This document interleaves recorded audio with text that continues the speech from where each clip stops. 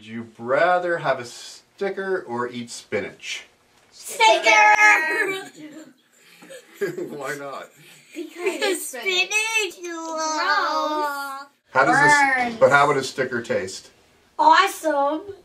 I've It would, tasted it would one. taste oh, this um a little bit better. Better I've than- tasted one. So you're saying a sticker would taste better than spinach? I've licked a sticker once. Yeah, I've licked the sticky part. Yeah, that And how did that taste? I Eh? I've licked the sticky part and I couldn't get it off for a week. Gross. true story.